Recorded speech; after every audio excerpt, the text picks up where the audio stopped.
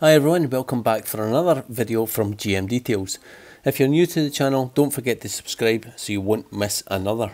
In this video, I'll be having a look at three popular products used to clean dried on bug splatter from the front of my freshly waxed BMW.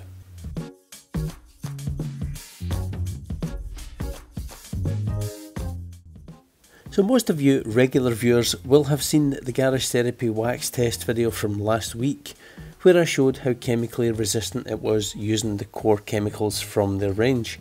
But with bug splatter you'll need something a little bit stronger to deal with the dried on bug guts which can sometimes be acidic and if left on too long could cause some issues with the stain etching through the clear coat so the quicker you get them off the better. In previous videos I've showed that I've had no luck with bug splatter using snow foam. They just don't seem to be able to soften the hemolymph or insect blood enough to be easily removed. So what I'm going to try is three different chemicals which have been widely recommended over the last few months on social media. These are Autoglanz Bug Off, Garage Therapy Zero Decon Shampoo at 10 to 1 and Bilt Hamber Surfex HD also at 10 to 1. On the first test I'm not going to rinse down the panel as I want to see how effective each of the products can be on their own merits and I'm not using a pressure washer either, just a garden hose as a pressure washer isn't always available to everyone. So the top right will be Autoglanz Bug Off and the bottom is Garage Therapy Zero Decon Shampoo at a 10 to 1 dilution so that's 45 millilitres of shampoo in a 500 milliliter bottle, the rest water.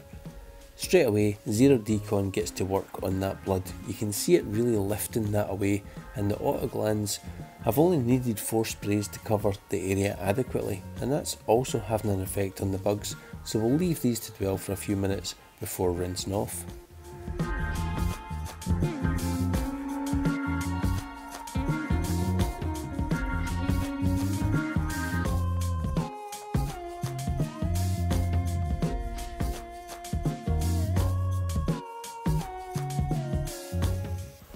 The first thing you can see is that both have done an excellent job, but the difference in water behaviour between the two sections is a concern. Zero Decon shampoo has really taken the hydrophobic qualities of the wax away, where Autoglanz has left it clean and safe on your last stage of protection. For me personally, I'd be using Autoglanz for bug removal over Zero Decon if it's going to mean you have to reapply protection every time you remove these bugs. For some, it simply comes down to cost, as Bug Off is undiluted and will cost considerably more than any diluted product. But for me, if it's not giving me any more work, then that's got to be worth the extra. I'll cover costs a little bit later on in the video. On the other side, I'm rinsing down first, and as you can see, it does absolutely nothing for the bugs but at least it's shown you what the protection is like before I use any of these chemicals. So the top half I'm going to use Autoglanz Bug Off again, this time it'll obviously dilute slightly due to the water that's already on the panel. And below it I'm going to try Bilt Hamber Surfex HD which is their degreasing multi all-purpose cleaner at a 10% dilution so that's roughly a ratio of 9 to 1.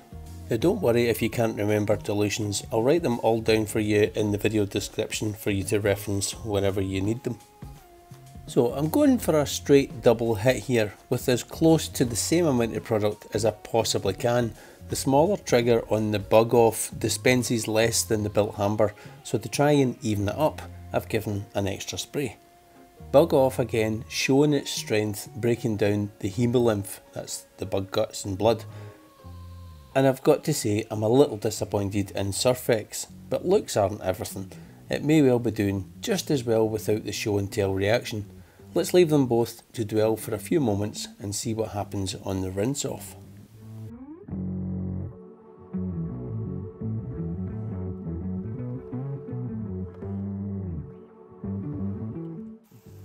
To be honest, I wasn't expecting that amount of cleaning power from Surfex with it showing no reaction. The Autoglanz has worked very well too with just the one very large insect body glued onto the paint. that will require further soaking. You could soak a makeup pad in the solution and place it over the area. That would at least concentrate the product in the area you want to control.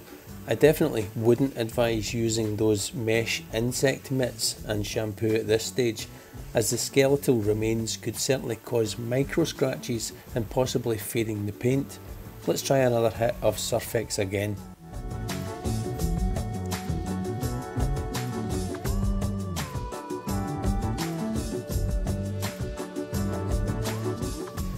That hasn't dislodged it either, but take a look at the water behaviour from both products. They still haven't affected the alpha wax which was applied last week.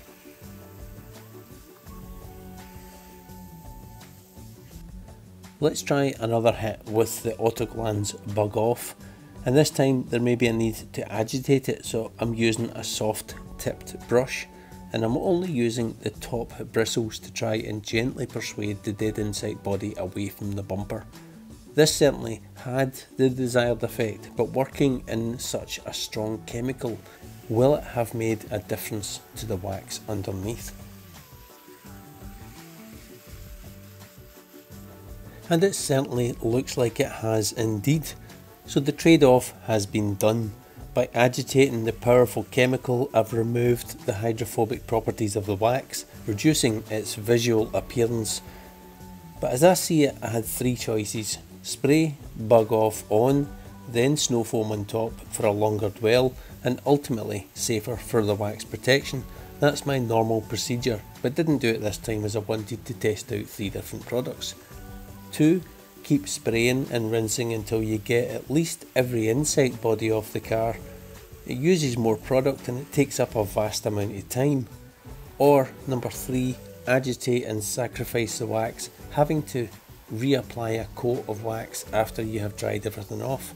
Let me know in the comments what your method would have been in this instance. For this last test, I'm going to rinse any loose debris away, then come straight back in with Garage Therapy Zero Decon Shampoo again. At, remember, it's the 10 to 1 dilution, just to see if the dramatic wax removing effect it had earlier, whether it shows up on this section. This little area has a fly body on the chrome and smaller traces of blood below. I'm not going to agitate this section, but seeing as there is a little water already on the panel, maybe it'll dilute it enough that it'll remove the bugs but also be kinder to the wax underneath.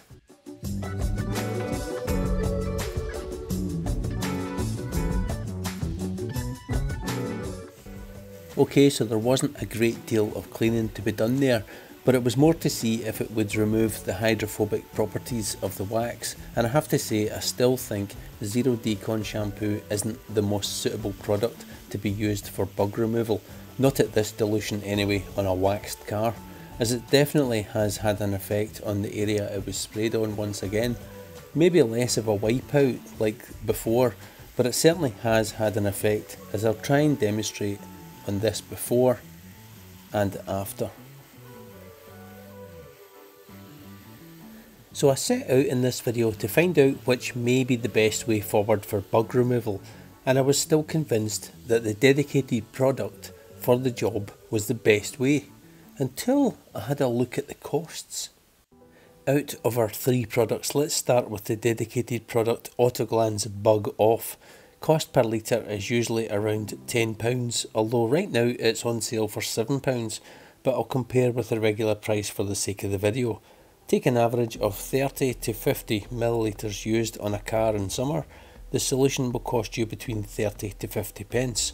If you can catch it on sale, that's roughly between 21 and 35 pence for each use. Not bad at all, I hear you cry. Garage Therapy Zero Decon shampoo is £18 per litre and making up a 500ml dilution uh, at 10 to 1 is using 45ml of product so that's costing as little as 81 pence a bottle. If you're only going to use the same average 50ml at a time that's only 8 pence a car.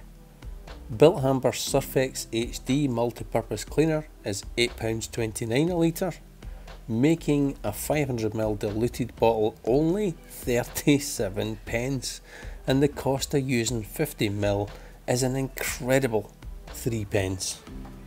Well there you have it viewers, the best consumer advice all wrapped up in a 10 minute video.